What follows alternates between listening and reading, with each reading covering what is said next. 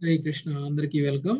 ఈరోజు మనం శ్రీమద్ భాగవతంలో పదవ స్కందం నుంచి మొదటి అధ్యాయం ఇరవై నాలుగవ శ్లోకం నుంచి మనం ఈరోజు చదువుకుంటాం. ఇప్పటికే ఇరవై మూడు శ్లోకాలు కంప్లీట్ చేసాం మొదటి అధ్యాయము ఇరవై మూడు శ్లోకాలు కంప్లీట్ చేసుకున్నాము. ఈరోజు మనం ఇరవై నాలుగవ శ్లోకం నుంచి స్టార్ట్ చేద్దాం. సో ఇప్పటి వరకు కూడా భూదేవి భారం పెరిగిపోయిందని బ్రహ్మ దగ్గరికి సలహా కోసం వెళ్తే బ్రహ్మదేవుడు ఇతర దేవతలందరితో కలిసి క్షీరోదక సముద్రం దగ్గరికి వెళ్ళి విష్ణు భగవానుడి గురించి ప్రార్థన చేయడం అనేటువంటిది జరిగింది. ప్రస్తుతం భూమి మీద అధర్మయుతులైనటువంటి క్షత్రుల యొక్క పాలన జరుగుతుంది. సో ఇలాంటి అధర్మయుతులైనటువంటి క్షత్రుల యొక్క పాలన జరుగుతుంది అని అంటే సాధువులకి రక్షింపబడేటువంటి స్థితి లేదు. అధర్మం పెరిగిపోయింది. మరి ధర్మం తగ్గిపోయింది అని అంటే ఏం జరగాలి? భగవంతుడు అవతరించాలి. సో ఈ పరిస్థితి నుంచి కాపాడగలిగిన వాళ్ళు ఎవరూ లేరు ఈ విషయంలో. అందుకనే భగవంతుడిని ప్రార్థిస్తున్నారు అయితే భగవంతుడిని ప్రార్థిస్తే భగవంతుడు ఏమి అందరికీ దర్శనం ఇవ్వలేదు. శుద్ధ భక్తులైనటువంటి వాళ్ళ హృదయంలో ఇంచే పలుకుతారు భగవంతుడు. అయితే బ్రహ్మదేవుడు హృదయంలోనే ఆయనకి ఒక రియలైజేషన్ వచ్చేసింది. తనకి లోపల నుంచే మాటలు వినిపించాయి. భగవంతుడు మాట్లాడేటువంటి మాటలు వినిపించాయి. భగవంతుడు విన్నటువంటి మాటల్ని దేవతలకి తెలియజేస్తుంది సారీ బ్రహ్మదేవుడు విన్నటువంటి మాటల్ని దేవతలకే తెలియజేస్తున్నారు. ఏమని చెప్పారంటే త్వరలోనే యదువంశంలో దేవకి వసుదేవులకి భగవానుడు ఆవిర్భవించనున్నారు. స్వయంగా దేవాది దేవుడు దేవకి వసుదేవులను తల్లిదండ్రులుగా చేసుకుని ఈ భౌతిక విషయంలోకి రానున్నారు. అయితే మీరందరూ శ్రద్ధగా విని చేయాల్సిందల్లా ఏమిటి అని అంటే భగవంతుడు రావడానికంటే ముందు మీరందరూ కూడా యదువంశంలో పుత్ర పౌత్రుల్లా జన్మించండి. యదువంశంలో పుత్ర పౌత్రుల్లా జన్మించండి. భగవంతుడు చేయబోయేటువంటి ప్రతి లీలలో కూడా మీరు కూడా భాగం పంచుకోండి.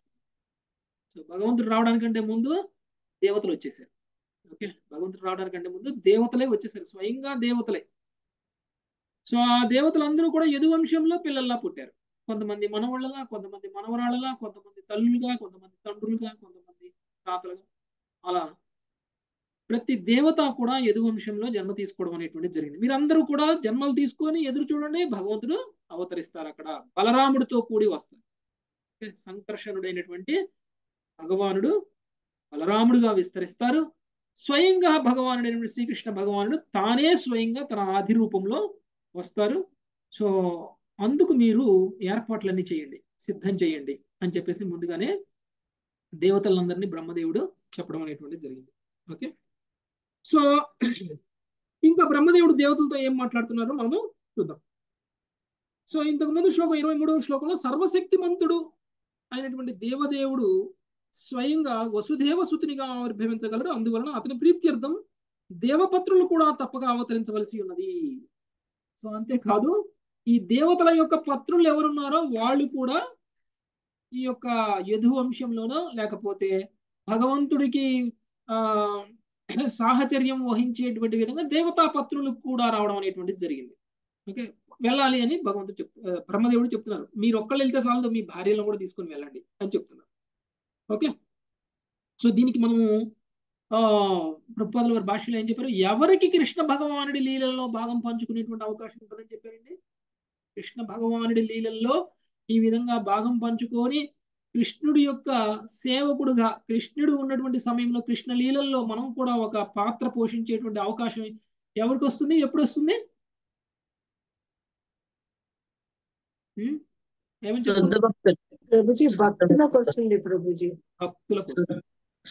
అంటే ట్రైనింగ్ అనమాట అది. ఓకే? ట్రైనింగ్. సో మిలిటరీలో జాయిన్ అయిన వాడు బార్డర్లోకి వెళ్ళి యుద్ధం చేయడానికంటే ముందు ఏం చేస్తారండి మిలిటరీ ట్రైనింగ్ ఇప్పిస్తారు కొంతకాలం. సో అలానే వీళ్ళను కూడా ట్రైనింగ్ అనమాట సో మీరు గోలోక బృందావనానికి వెళ్ళేటువంటి అర్హత ఉన్నటువంటి వాళ్ళు ఎవరైనా సరే ముందు గోలోక బృందావనానికి వెళ్ళి అక్కడ ఏం చేయాలి ఎలా ఉండాలో తెలుసుకోవడం కోసం ముందుగానే కృష్ణుడే స్వయంగా ఈ భూమి మీద అవతరించినటువంటి ప్రదేశంలోకి మిమ్మల్ని పంపిస్తారు. అక్కడ మీ మీకు కృష్ణ సేవ చేసేటువంటి అవకాశం ఇస్తారు. మీకు భగవంతుడితో ఉన్నటువంటి ఏ సంబంధంలో మీరున్నారో ఆ సంబంధాన్ని మీకు అక్కడ సేవగా ఇవ్వడం అనేటువంటిది జరుగుతుంది. ఎప్పుడైతే మీరు ఆ సేవలో పరిపూర్ణతను చెందుతారో అప్పుడు భగవంతుడు మళ్ళీ తిరిగి తన ధామానికి వెళ్ళినప్పుడు మిమ్మల్ని తనకు ధామానికి తనతో పాటు తీసుకుని వెళ్ళిపోతారు సో కృష్ణ ధామానికి వెళ్ళడానికంటే ముందు కృష్ణ సేవలో భాగం పంచుకునేటువంటి అవకాశం వస్తుంది. ఓకే? కొంతమంది డైరెక్ట్ కూడా కృష్ణ ధామానికి వెళ్ళగలరు. ఎందుకంటే వాళ్ళు ఆల్రెడీ ఇక్కడ ముక్తికి అర్హులు అవడమే కాకుండా ఇక్కడ కృష్ణ సేవ కూడా చేసి ఉన్నట్లయితే మందిరాల్లో సేవ చేసేటువంటి వాళ్ళు ఓకే ఫిజికల్గా మనలాగా కాదు. అంటే ఏదో ఆలోచనలతోటి అట్లా కాదు. మనం టెంపుల్కి వెళ్ళి టెంపుల్ ఊడవడము టెంపుల్ క్లీన్ చేయడము అక్కడ ప్రసాదాలు వడ్డించటము ప్రసాదం పాత్రలు అరేంజ్మెంట్ చేయడము క్యూలు అరేంజ్మెంట్ చేయడం అక్కడ చెప్పుల స్టాండ్లు అన్ని కాపలా కాయడము ఇలాంటివన్నీ చాలా ఉంటాయి అక్కడ. చాలా సేవలు ఉంటాయి. మందిరంలోకి వెళ్తే చాలా సేవలు ఉంటాయి. అందులో ఫెస్టివల్ టైంలో అంటే ఇంకా చాలా సేవలు ఉంటాయి. ఓకే? ఒకటి రెండు ఉండవు. ఇంకా చాలా సేవలు ఉంటాయి. ఇవన్నీ కనుక మనం స్వీకరించి ఇక్కడే మనం కృష్ణ సేవ ఎలా చేయాలో నేర్చుకుని ఉంటే కనుక మళ్ళీ మనం లీలల్లో భాగం పంచుకునే విధంగా మళ్ళీ జన్మ తీసుకోకుండానే కృష్ణుడి దగ్గరకు కూడా వెళ్ళేటువంటి అవకాశం ఉంటుంది. డైరెక్ట్గా గోలోకంలోకి. కానీ మనం ఇవన్నీ చేయడం వల్ల ఒకవేళ మన భక్తి స్థాయి గోలోక బృందావనం వరకు తీసుకెళ్ళేటువంటి స్థాయిలో కనుక మనం లేకపోతే మనం ఏ దేవతలుగానో పుడతాం. ఇలా దేవతలుగా పుట్టినటువంటి మనం కొన్ని వేల సంవత్సరాల పాటు దేవతలకు ఉన్నటువంటి సుఖాలను అనుభవించిన తరువాత అప్పటికీ కూడా ఇంకా మనకి అర్హత ఉంటే అప్పుడు మనకి ఇంకా ఆ విద్యాహంకారం కనుక లేకపోతే అప్పుడు ఏం చేస్తారు మనల్ని కృష్ణలీలల్లో భాగం పంచుకునే అవకాశం ఇస్తారు. దేవతలందరూ ఏ విధంగా అయితే ఇప్పుడు కృష్ణలీలల్లోకి వస్తున్నారో ఆ విధంగా. బృందావనానికి ఇప్పుడు వాళ్ళందరూ రాబోతున్నారు. యదువంశంలోకి రాబోతున్నారు. ఓకే? సో ఇంకా కృష్ణుడు ఇంకా ఆవిర్భవించలేదు. కృష్ణుడు ఆవిర్భవించడానికంటే ముందు దేవతలందరూ ఏం చేస్తారు? బ్రహ్మదేవుడు ఏం మాట్లాడుతున్నారు అనేది మనం ఇప్పుడు డీటెయిల్గా చూద్దాం. సునీత మాతాజీ ఇరవై నాలుగో శ్లోకం. వాసుదేవా కళానంత సహస్రవదన స్వరాట్ వాసుదేవ కళానంతః సహస్రవదనః స్వరాట్ అఘ్రతో భవితా దేవో హరే ప్రియ చికీర్షయా. అగ్రతో భవిత దేవో హరే ప్రియ చికీర్షయా. భావము. శ్రీకృష్ణుని ప్రధాన అంశ అనంతునిగా తెలియబడు సంకర్షణుడు ఈ జగత్తునందరి సమస్త అవతారములకు అతడే మూలము. శ్రీకృష్ణుని ఆవిర్భావమునకు పూర్వమే ఈ మూల సంకర్షణుడు దివ్య లీలల యందు ఆ దేవదేవునికి ప్రియమును గుర్చుటకై బలదేవునిగా ఆవిర్భవించగలడు. భాష్యము. శ్రీ బలదేవుడు స్వయంగా భగవానుడే. సర్వశ్రేష్టత్వమున బలదేవుడు భగవంతునికి సమానుడే అయినను శ్రీకృష్ణుడు ఎచ్చట అవతరించినను ఆ దేవదేవునికి అతడు సోదరుడుగా అవతరించుచుండును. ఒక్కొక్కప్పుడు అతడు శ్రీకృష్ణునికి జ్యేష్ఠుడు కాగా మరొకప్పుడు అనుజుడగుచుండును. శ్రీకృష్ణుడు అవతరించినప్పుడు స్వాంశలు ఇతర అవతారములు కూడా అతనితో పాటు అవతరించును. ఈ విషయం చైతన్య చరితామృతం నందు విస్తారముగా వివరింపబడినది. ఇప్పుడు బలదేవుడు శ్రీకృష్ణుని జ్యేష్ఠ సోదరునిగా అతని కన్నే ముందే అతని కన్నను ముందే అవతరింపగలడు. ఆ, శ్వాంశకి విభిన్న అంశకి తేడా ఏంటి? శ్వాంశ అంటే ఎవరు? విభిన్న అంశ అంటే ఎవరు? ప్రభుజీ విభిన్నాంశ అంటే మనము. భగవంతుని అవతారం అంటే స్వయం భగవంతుడు. స్వయం భగవానుడి యొక్క అవతారాలు ఏవైతే ఉన్నాయో అవన్నీ కూడా స్వాంశలు. ఏవైతే జీవులు ఉన్నారో భగవంతుడి అవతారం కాదు. భగవంతుడి అంశలవే. మనము అంశలమే వాళ్ళు అంశలే. భగవంతుడి అవతారాలు కూడా భగవంతుడికి అంశలే మనము కూడా అంశలమే. కానీ మనము సామాన్యమైనటువంటి జీవులు ఆయన స్వయంగా భగవానుడే. తన అంశమాత్ర శక్తితోటి అంశమాత్ర కళలతోటి ఆయన అవతరించడం అనేటువంటి జరుగుతుంది. విష్ణువు స్వాంశ విభిన్నాంశ.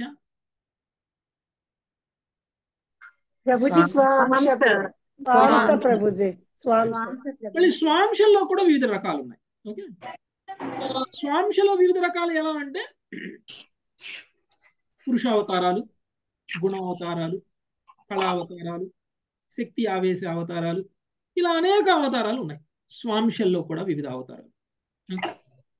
కానీ విభిన్నాంశలమైనటువంటి మనము భగవంతుడితో సమానము అని అనుకుంటే కనుక మనం కూడా స్వాంశ అని ఓకే? అది అది ఒక పెద్ద అపరాధం. కొన్ని రకాల వాళ్ళు కొంతమంది ఆధ్యాత్మిక ప్రసంగాలు చేసేటువంటి వాళ్ళు లేకపోతే గురువులుగా ప్రకటించుకున్నటువంటి వాళ్ళు నేను శాస్త్రాన్ని చదివాను అని చెప్పుకునేటువంటి వాళ్ళు మాయావాదాన్ని ఎక్కువగా ప్రచారం చేసేటువంటి వ్యక్తులు వీళ్ళందరూ కూడా నేనే భగవంతుడిని లేకపోతే నువ్వు భగవంతుడివే. అందరం భగవంతుడివే అందరం భగవంతుడు అంశులైనప్పుడు అందరం భగవంతుడు ముక్తి అంటే ఏంటి? ముక్తి అంటే మనమందరం భగవంతులుగా మారిపోవడం. ఓకే? భగవంతుడు భగవంతుల్లో ఉన్నటువంటి శక్తి మనలో కూడా ఉంది కాకపోతే మనం దాన్ని రియలైజ్ అవ్వట్లేదు. దాన్ని మనం ప్రదర్శించలేకపోతున్నాం. ఎప్పుడైతే నువ్వు భగవంతుల్లో ఉన్నటువంటి శక్తిని భగవంతుల్లో ఉన్నటువంటి సామర్థ్యాన్ని ప్రదర్శించగలిగినటువంటి వాడిగా ఎప్పుడు మారిపోతావో అప్పుడు నువ్వు భగవంతుడు అయిపోయినట్టు ఒకవేళ అలా అంటూ మాట్లాడేటువంటి వాళ్ళందరూ కూడా మాయవాదు అదంతా కూడా తప్పు. సో అంశ ఎప్పుడు అంశే. సో అంతేకాని అది ఎప్పటికీ కూడా మూలంతో సమానం కాదు. సో ఆ విధంగా స్వయంగా భగవంతుడి యొక్క మొదటి విస్తారం ఏదైతే ఉందో అది సంకర్షణ. కదండి? మొదటి విస్తారం సంకర్షణ. సంకర్షణ నుంచే ఏమొచ్చాయి? చతుర్వ్యూహం వచ్చింది.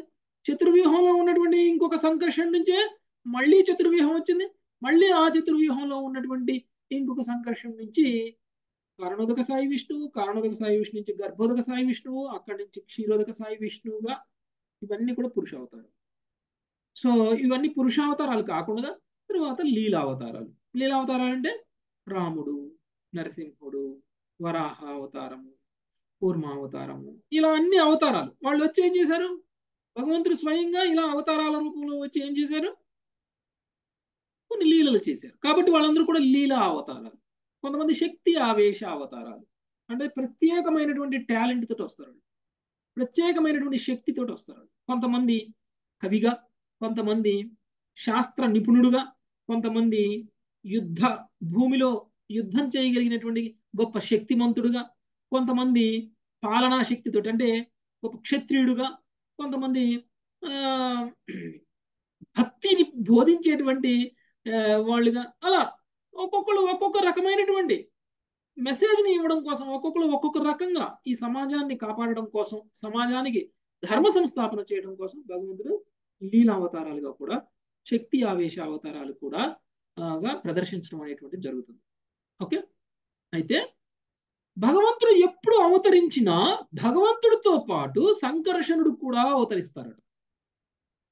భగవంతుడు అవతరించినప్పుడు భగవంతుడికి సోదరుడుగా సంకర్షణుడు అవతరిస్తారు. అది ఒక్కొక్కసారి అన్నగా ఒక్కొక్కసారి తమ్ముడుగా. ఎలా అయినా పర్వాలేదు. అప్పుడు ఉన్నటువంటి సందర్భాన్ని బట్టి ఆ లీలకి అవసరమైన విధంగా ఆయన అవతరించడం అనేటువంటి జరుగుతుంది. అందుకని ఇప్పుడు భగవంతుడు స్వయంగా శ్రీకృష్ణ భగవానుడు ఈ భూమి మీద అవతరించనున్నారు. అందుకని దేవతలందరూ కూడా వాళ్ళ వాళ్ళ పొజిషన్స్ తీసుకోమని చెప్పారు బ్రహ్మదేవుడు. ఇంకా దేవతలకు ఏం చెప్తున్నారు? స్వయం భగవానుడు ఒక్కడే రావట్లేదు. భగవానుడితో పాటు సంకర్షణుడు కూడా తన సోదరుడిగా రాబోతున్నారు. తన యొక్క సోదరుడిగా రాబోతున్నారు అనేటువంటి విషయాన్ని తెలియచేశారు. జ్యేష్ఠ సోదరుడిగా రాబోతున్నారు. పెద్దవాడిగా రాబోతున్నారు.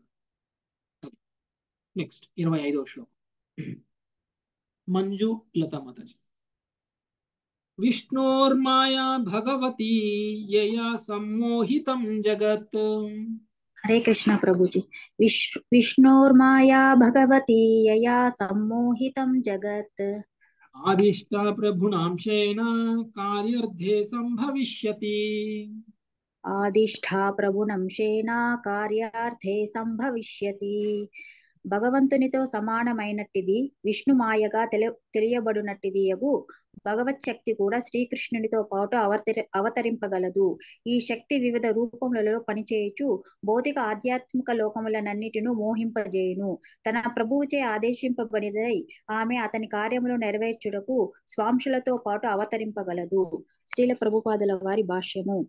పరాస్య శక్తిర్ శక్తిర్ వివిధైవ శ్రూయతే. శ్వేత శ్వత శ్వేతశ్వతరోపనిషత్తు సిక్స్ పాయింట్ ఎయిట్ భగవత్ శక్తులు యోగమాయ మహామాయ ఎనుచు వివిధ నామములతో పిలువబడునని వేదములందు తెలుపబడినది కానీ చివరకు భగవత్ శక్తి ఒక్కటే అది అచ్చము విద్యుత్ శక్తి చల్లదనమును కలిగి కలిగించుటకు పనిచేసినను ఉష్ణమును కలిగించుటకు పనిచేసినను ఒక్కటే అగు వంటిది భగవత్ శక్తి ఆధా ఆధా ఆధ్యాత్మిక భౌతిక జగత్తులు రెండింటిని ఎందును పనిచేయును. అది ఆధ్యాత్మిక జగత్తునందు యోగమాయగా పనిచేయును. భౌతిక జగత్తు ఎందు మహామాయగా పనిచేయును. ఇది విద్యుత్ శక్తి హీటర్లోను కూలర్లోను పనిచేయుట వంటిదే. ఈ శక్తి భౌతిక జగత్తునందు మహామాయగా వర్తించుచు బద్ధ జీవులపై పనిచేసి వారిని యోగ వంచితులను కావించును. యయా సమ్మోహితో జీవ ఆత్మానం త్రిగుణాత్మకం అని చెప్పబడినది. భౌతిక జగత్తునందు బద్ధ జీవుడు తనను త్రిగుణ ఫలములని తలంచును. ఇది ఏ దేహాత్మ బుద్ధి. త్రిగుణ సంపర్కము వలన ప్రతి ఒక్కడు తనను దేహమనియే భావించును. ఒకడు తాను బ్రాహ్మణుడనియు ఇంకొకడు క్షత్రుడనియు ఇంకొకడు వైశ్యుడనియు లేదా కానీ వాస్తవమునకు జీవుడు బ్రాహ్మణుడుగా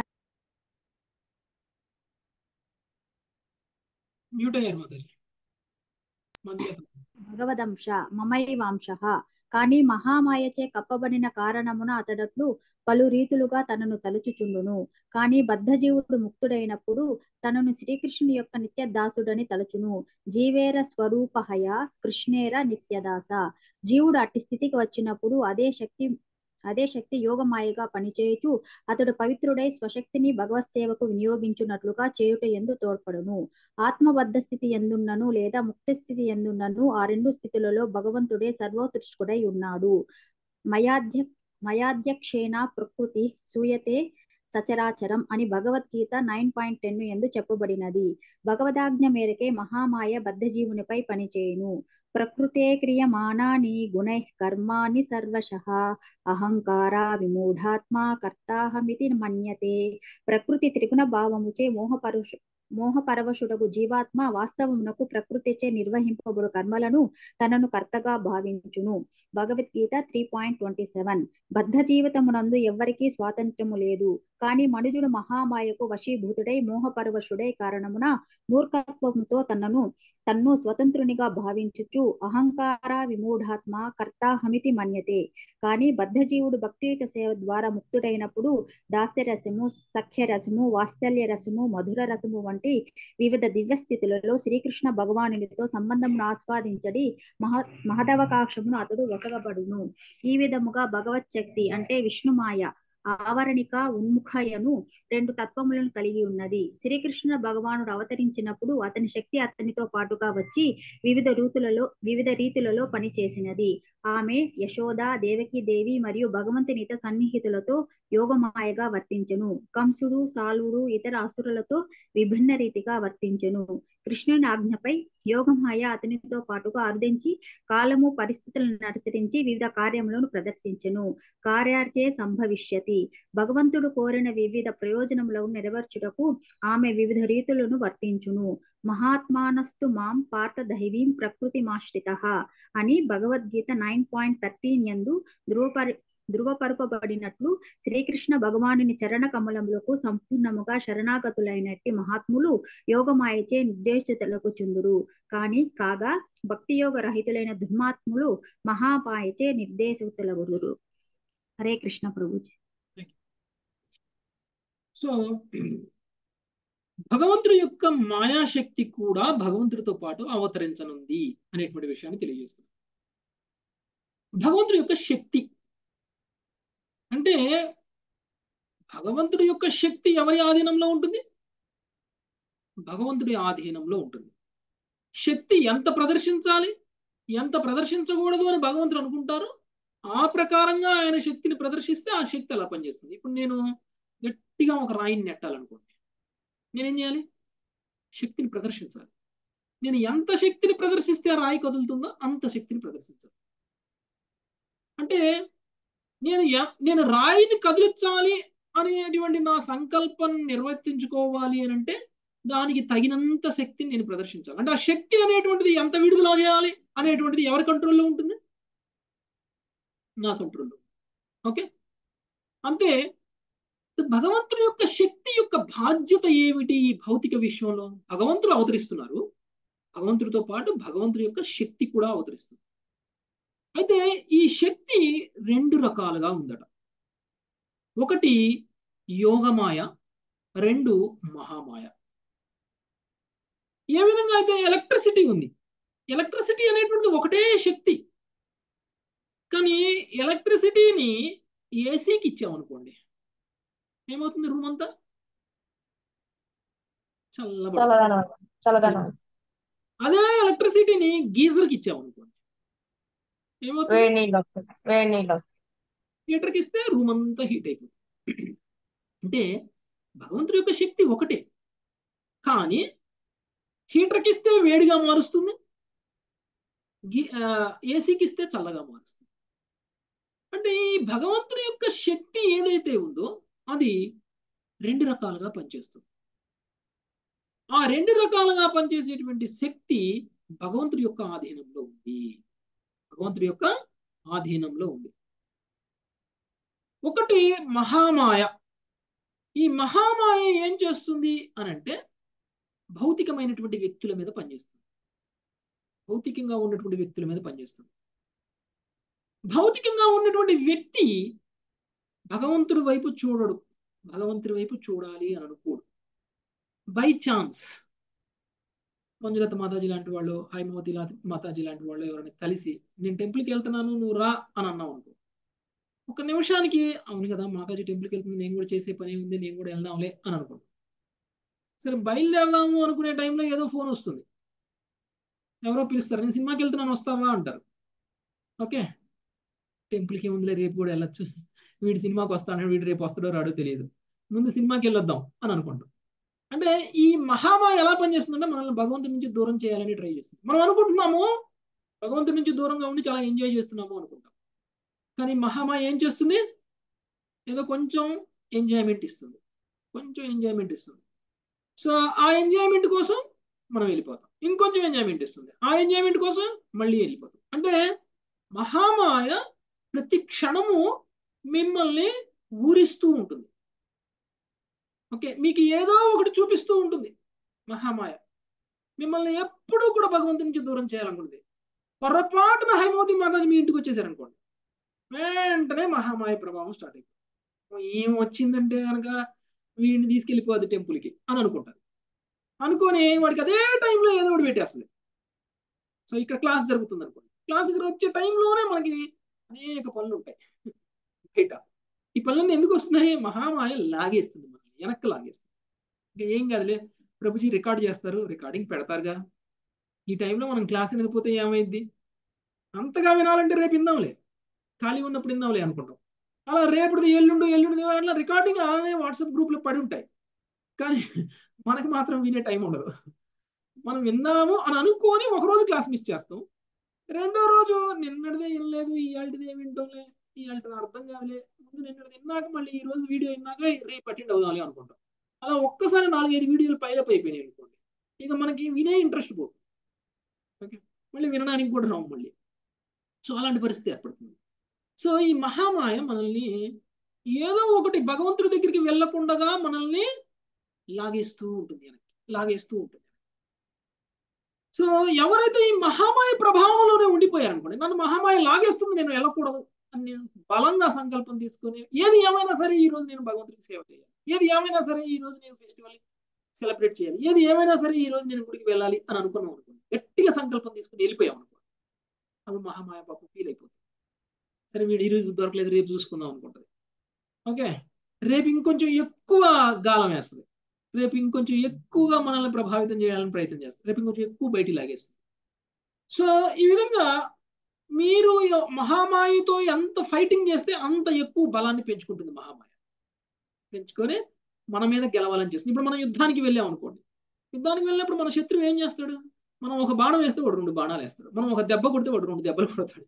మనం మూడు దెబ్బలు కొడితే వాడు నాలుగు దెబ్బలు కొడతాడు. మనం ఒకసారి మనకు సపోర్ట్గా ఒక వ్యక్తిని తీసుకెళ్తే వాడు నలుగురు వ్యక్తులను తీసుకొస్తాడు. ఎందుకు? యుద్ధం యొక్క లక్ష్యం ఏంటి? యుద్ధం చేసే ఇద్దరు నేను గెలవాలంటే నేను గెలవాలి అని అనుకుంటారు. మరి మీరు మహామాయతో పోటీ పడి మహామాయతో యుద్ధం చేశారనుకోండి మహామాయ చాలా శక్తివంతురాలు ఆమెతోటి మనం గెలవగలమా? ఎవరైనా మహామాయతోటి గెలవగలరా? గొప్ప గొప్ప పండితులు గొప్ప గొప్ప యోగులు కూడా మహామాయతో గెలవలేకపోయారు. విశ్వామిత్రుడే గెలవలేదు ఇంక మనం ఏం గెలుస్తాం? కదండి? సో ఈ మహామాయ ఈ విధంగా మనల్ని భగవంతుడి నుంచి దూరంగా ఉంచేటువంటి ప్రయత్నం అనుక్షణం చేస్తూనే ఉంటుంది. యోగమాయ ఏం చేస్తుంది? రెండవ రకమైనటువంటి సేమ్ శక్తి. అంటే మహామాయ హీటర్కి ఇచ్చిన ఎలక్ట్రిసిటీ ఇలాంటిది. ఓకే? యోగమాయ. ఏసీకి ఇచ్చిన ఎలక్ట్రిసిటీ లాంటిది అనమాట అదేం చేస్తుంది మనల్ని? భగవంతుడి యొక్క సేవలో ఉండేలా చేస్తుంది. ఎప్పుడైతే మనం భగవంతుడి యొక్క సేవలోకి వచ్చేసామనుకోండి భగవంతుడి యొక్క సేవలోకి రాగానే యోగమాయ మనల్ని ప్రొటెక్ట్ చేస్తుంది. మహామాయని దగ్గర రాకుండా. ఓకే? మహామాయ దగ్గర రాకుండా యోగమాయ ప్రొటెక్ట్ చేస్తుంది. ఒకరోజు భాగవతం క్లాస్కి వచ్చామనుకోండి. ఆహా ఎంత బాగుంది ఎంత ఆనందంగా ఉంది. ఎంత హాయిగా ఉంది. రేపెట్టి పరిస్థితుల్లో అయినా సరే మళ్ళీ భాగవతం క్లాస్కి రావాలి. ఓకే? సో ఒకసారి రుచి చూసిన దాన్ని మనం ఆ రుచిని వదిలిపెట్టవు యోగమాయ ప్రభావం కొంచెం బలంగా ఉన్నప్పుడు యోగమాయ ప్రభావం మనల్ని ప్రొటెక్ట్ చేస్తూ ఉన్నప్పుడు మనం రేపు కూడా భాగవతం క్లాస్కి వస్తాం. ఎల్లుండి కూడా భాగవతం క్లాస్కి వస్తాం. అవతా ఎల్లుండి కూడా భాగవతం క్లాస్కి వస్తాం. మనం నిత్యం భాగవత సేవయా చేసే స్థాయి వరకు మన మీద యోగమాయ ప్రభావం అనేటువంటిది ఉండాలి. యోగమాయ ప్రభావం లేకపోతే ఈ నలభై ఐదు మంది యాభై మంది వచ్చి ఇక్కడ కూర్చోరు. ఓకే. యోగమాయ ప్రభావంలో ఉన్నాం కాబట్టి మనం అందరం ఎట్టి పరిస్థితుల్లో అయినా అన్ని పనులు కంప్లీట్ చేసుకుని వచ్చి వీడియో ఆన్ చేసుకుని క్లాసులో కూర్చోవాలి అని అనుకుంటాం. ఓకే. సో ఈ విధంగా యోగమాయ మహామాయ ఈ విధంగా పనిచేస్తుంటాయి. మనం ఏమనుకుంటాం అంటే యోగమాయ కేవలం ఆధ్యాత్మిక విషయంలో పనిచేస్తుంది భౌతిక మాయ కేవలం భౌతిక విషయంలో పనిచేస్తుంది పనిచేస్తుంది అని అనుకుంటాం అలా కాదు భౌతిక మాయైన మాయైన రెండు మాయలు కూడా భౌతిక విషయంలో ఉన్నటువంటి ప్రతి ఒక్కళ్ళ మీద పనిచేస్తూ ఉంటాయి. అందుకని మనం అందరం కూడా ఎంత ఆధ్యాత్మికంగా ఉన్నా కానీ ఒక్కొక్కసారి మహామాయ డామినేట్ చేస్తుంది. ఒక్కొక్కసారి డామినేట్ చేస్తుంది. డామినేట్ చేయడం వల్ల రోజులో మూడొంతులు భౌతికంగా ఒక వంతు ఆధ్యాత్మికంగా ఉండడానికి ప్రయత్నం చేస్తాం. అదే డామినేషన్ ఏది ఎక్కువ డామినేషన్ ఉంటే దాని మీద దాని ప్రభావంలో మనం ఉంటాం. సో యోగమాయ కూడా భౌతిక విషయంలో కొంతమంది మీద పనిచేస్తుంది. మహామాయ ఆల్మోస్ట్ అందరి మీద పనిచేస్తుంది. అందుకనే యోగమాయ యొక్క ప్రభావం కేవలం భక్తుల మీద ఉంటుంది. మహామాయ యొక్క ప్రభావం అందరి మీద ఉంటుంది. అందుకని ఇప్పుడు చూస్తే ఇక్కడ ఎవరెవరికి చెప్పారు? కంసుడు ఓకే. తర్వాత శల్యుడు తర్వాత శాల్యుడు ఇంకా కొంతమంది అసురులు. వాళ్ళందరి మీద ఎవరి ప్రభావం ఉంది? మహామాయ ప్రభావం. అందుకని కంసుడు వీళ్ళందరూ శల్యుడు వీళ్ళందరూ ఏమనుకున్నారు కృష్ణుడిని శత్రువులు అనుకున్నారు కదా? కృష్ణుడికి సేవ చేయాలి అనుకోలేదు. కృష్ణుడి నుంచే దూరంగా వెళ్ళిపోయారు. ఇంకా కొంతమంది మీద యోగమాయ ప్రభావం పనిచేసింది. ఎవరు? దేవకీదేవి. తర్వాత యశోదామాత తర్వాత బృందావనంలో ఉన్నటువంటి ఆయన సహచరులు. ఎవరెవరైతే ప్రత్యక్షంగా భగవంతుడికి సేవ చేశారో వాళ్ళందరూ. ఓకే? వాళ్ళందరి మీద మహామాయ ప్రభావం కాదు యోగమాయ ప్రభావం. కాబట్టి వాళ్ళు కృష్ణుడికి సహచరులుగా ఉంటూ కృష్ణుడికి సేవలు చేస్తూ ఉండిపోయారు. ఓకే? అంటే ఏం చేస్తుంది? మహామాయ మనల్ని కృష్ణుడి దగ్గరికి తీసుకొస్తుంది. ఓకే? యోగమాయ మనల్ని కృష్ణుడికి దూరంగా తీసుకెళ్తుంది. సారీ మహామాయ మనల్ని కృష్ణుడికి దూరంగా తీసుకెళ్తుంది. యోగమాయ మనల్ని కృష్ణుడికి దగ్గరగా తీసుకెళ్తుంది. ఓకేనండి? క్లియరా? యోగమాయ మహామాయ? నెక్స్ట్. సో ఇదంతా కూడా బ్రహ్మదేవుడు దేవతలకి తెలియచేశారు. సో ఏం చెప్పారు? కృష్ణుడు వస్తున్నారు బలరాముడు వస్తున్నాడు. కృష్ణుడు బలరాముడితో పాటు తన ఆంతరంగిక బహిరంగిక శక్తి కూడా వస్తుంది. యోగమాయ భౌతికమాయ మహామాయ ఇవి కూడా వస్తున్నారు. కాబట్టి మీరందరూ కూడా వాళ్ళు రావడానికంటే ముందే మీరు ఏర్పాట్లు చేయండి. ఓకే? ఆ ఏర్పాట్లన్నీ ఇక్కడ చేస్తాం. నెక్స్ట్. ఇరవై ఆరవ శ్లోకం. శుకదేవ గోస్వామి మాట్లాడు కృష్ణ వేణి మాతాజీ చదువుతారా ఓకే అమృత మాతాజీ చదవండి శ్రీ శుకవాచ హరే కృష్ణ ప్రభుజీ శ్రీ సుఖవాచ ఇత్యాదిశ్యామరగణాన్ ప్రజాపతి పతిర్విభు ఇత్యాదేశామన మరగణాన్ ప్రజాపతి ప్రతిర్ ప్రతి పతిర్విభు ఆశ్వాస్య చ మహీం స్వధామ పరమం యయౌ. ఆశ్వస్య చ మహిం గిర్భి స్వధామ పరం పరమం యయో. హరే కృష్ణ ప్రభుజీ. సుఖదేవ సుఖదేవ గోస్వామి పలికెను. ఈ విధముగా దేవతలకు ఉపదేశించి భూమి భూదేవిని ఓదార్చిన పిమ్మట పరమశక్తి మంతుడవును పరమశక్తివంతుడను ప్రజాపతులందరకు నాథుడైనందున ప్రజా ప్రజాపతి పతి అని తెలియబడిన వాడగును. బ్రహ్మ స్వధా స్వధామ మునకు స్వధామనకు బ్రహ్మలోకము వెడలెను. హరే కృష్ణ ప్రభుజీ. ఓకే. సుఖదేవ గోస్వామి చెప్తున్నారు. ఈ విధంగా భగవంతుడు చెప్పినటువంటి మాటలను విన్నటువంటి బ్రహ్మదేవుడు అక్కడ ఉన్నటువంటి దేవతలందరికీ కూడా తెలియచేసి బ్రహ్మదేవుడు తన ధామానికి వెళ్ళిపోయారు. తన ధామం ఎక్కడుందండి? బ్రహ్మదేవుడి యొక్క ధామం? బ్రహ్మలోకం. బ్రహ్మలోకం ప్రభుజీ. బ్రహ్మలోకం. బ్రహ్మలోకానికి ఇంకో పేరు? భూలోకం. భూలోకం. సత్యలోకం. ఓకే. సత్యలోకం. సత్యలోకం. ఓకే. బ్రహ్మదేవుడు ఈ సత్యలోకంలో ఉంటారు. అంటే బ్రహ్మలోకంలో ఉంటారు. బ్రహ్మలోకం ఎక్కడుంది? భౌతిక విశ్వంలో అన్నిటికంటే పైన ఉంది ఓకే. భౌతిక విశ్వంలో అన్నిటికంటే పైన. భౌతిక విశ్వంలోనే ఉన్నటువంటి బ్రహ్మదేవుడు అన్నిటికంటే పైన ఉన్నారు అని అంటే దాని అర్థం ఏంటి? బ్రహ్మదేవుడు మనందరికంటే కూడా స్వచ్ఛమైన వాడు మనందరికంటే కూడా పవిత్రమైన వాడు మనందరికంటే కూడా శుద్ధ భక్తుడు ఓకే? భౌతిక విశ్వంలోనే మనందరిలో ఇన్ని రకాల తరగతుల వాళ్ళు ఉన్నారు. వాళ్ళల్లో బ్రహ్మదేవుడు అందరికంటే టాప్ మోస్ట్ డిగోటి అందుకనే మీరు చూస్తే దేవతలు అందరితో కలిసి వెళ్ళి క్షీరసాగర సముద్రం దగ్గర ప్రేయర్ చేస్తే భగవంతుడి మాట కేవలం బ్రహ్మదేవుడికే వినిపించింది మిగిలిన ఎవరికి వినిపించలేదు. అంటే బ్రహ్మదేవుడి స్థాయి అంటే అర్థం చేసుకోండి. దేవతలలో కూడా ఉత్తమమైనటువంటి వాడు బ్రహ్మదేవుడు. అందుకని భగవంతుడు మాట్లాడితే బ్రహ్మదేవుడికి వినిపించింది కానీ మిగిలిన వాళ్ళకి వినిపించింది. అంటే మనలో ప్యూరిటీ ఎంత ఎక్కువగా ఉంటే అప్పుడు మనం భగవంతుడికి అంత సన్నిహితంగా ఉంటాం. భగవంతుడికి అంత సన్నిహితంగా ఉంటాం. సన్నిహితంగా ఉన్నటువంటి వ్యక్తులకి మనసులో ఉన్నటువంటి మాటలు కూడా తెలుస్తాయి. మీరేం మాట్లాడుతున్నారో బయటికి ఒక మాట మాట్లాడచ్చు. కానీ మీ మనసులో ఆ మాట యొక్క ఉద్దేశం ఏంటి అనేటువంటిది మీకు చాలా దగ్గరగా ఉన్నటువంటి వ్యక్తులకు తెలుస్తుంది. అది దూరంగా ఉన్నటువంటి వ్యక్తులకి ఏమనుకుంటారు? మీరు మాట్లాడిన మాటనే లిటరల్గా తీసుకుంటారు. ఓకే నా గురించి తెలిసినటువంటి వాళ్ళు నేను ఏం మాట్లాడినా కానీ ఓకే మురళీ ప్రభు ఇలా మాట్లాడారంటే ఆయన ఉద్దేశం ఇది అని కనుక్కుంటారు. అంటే మనం ఎంత సన్నిహితంగా ఉన్నాము అనేటువంటి దాన్ని బట్టి అవతల మనిషిని మనం అర్థం చేసుకునేది అంత ఎక్కువగా ఉంది ఓకే సో బ్రహ్మదేవుడు కృష్ణుడికి ఎంత సన్నిహితుడు కాకపోతే కృష్ణుడు మనసులో ఉన్న మాట కూడా బ్రహ్మదేవుడికి అర్థమైపోయింది. అర్థమైందండి? సో కొంతమంది మాట్లాడవసరం లేదు. వాళ్ళు బాడీ లాంగ్వేజ్ని బట్టి వాళ్ళు ఏమనుకుంటున్నారు? వాళ్ళు ఏం చేయబోతున్నారు? అనేటువంటి విషయం తెలిసిపోతుంది. ఎందుకంటే మనకి వాళ్ళతోటి ఉన్నటువంటి సాహచర్యం అంతా. ఏ టైంలో ఎలా ప్రవర్తిస్తాడు ఏ టైంలో ఎలా మాట్లాడతాడు ఏ టైంలో ఎలా బిహేవ్ చేస్తాడు అనే దాన్ని బట్టి ఆ మనసులో ఏం మాట అనుకుంటున్నాడు అనేటువంటి విషయం కొంతమందికి తెలిసిపోతుంది. అది వాళ్ళ క్లోజ్నెస్ని బట్టి.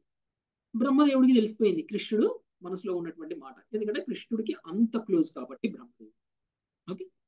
సో ఇప్పుడు సుఖదేవ గోస్వామి ఏం చెప్తున్నారంటే బ్రహ్మదేవుడు తన ధామానికి వెళ్ళిపోయారు అని తర్వాత ఏం జరిగిందో ఇప్పుడు సుఖదేవ గోస్వామి కంటిన్యూ చేస్తారు.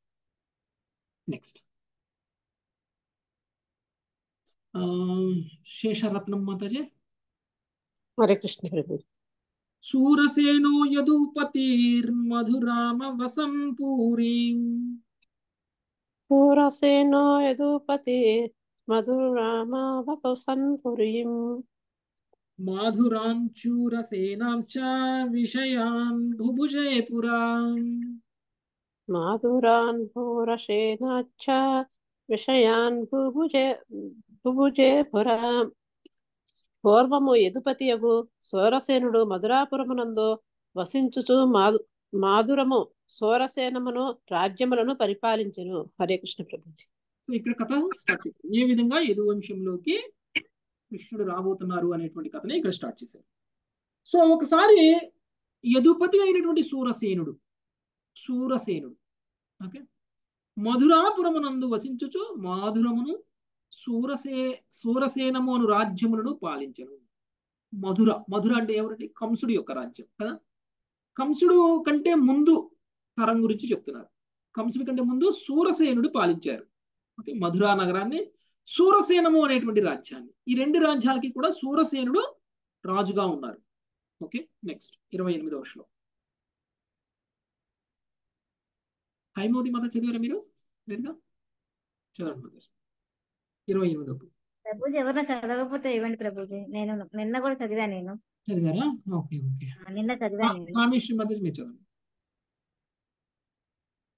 రాజధాని తతస్సా భూత్ సర్వయాధవ భూభుజహం కామేశ్వరి మధ్య మీరు చదువుతారా ఓకే సూర్యకుమారి మాతాజీ మీరు చదవండి. హరే కృష్ణ ప్రభుజీ. రాజధాని భూత్ సర్వయాధవ భూభుజాం. రాజధాని తతః సా భూతు సర్వయాదవ భూ భూభుజాం. మధురా భగవాన్ యత్ర నిత్యం సన్నిహితో హరి. మధురా భగవాన్ యత్ర నిత్యం సన్నిహితో హరి. ఆ సమయం నుండి మధురాపురము యదువంశ రాజులందరకు రాజధాని రాజధాని అయ్యను. శ్రీకృష్ణ భగవాడు మధురయందు నిత్యము విరాజిల్లుచుండెను.